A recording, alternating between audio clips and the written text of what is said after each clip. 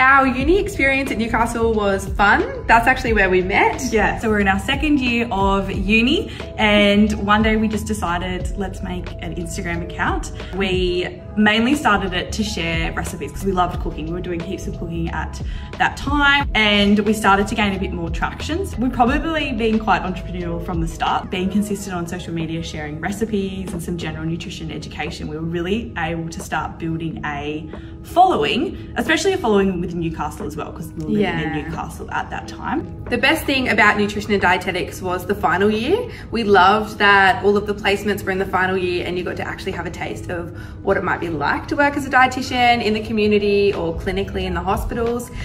So Clean Kweens to us is what we wish we had access to when we were younger and starting to get interested in things like health and nutrition. We really try to be relatable, down to earth, and try to make nutrition advice as simple and sustainable as it can be.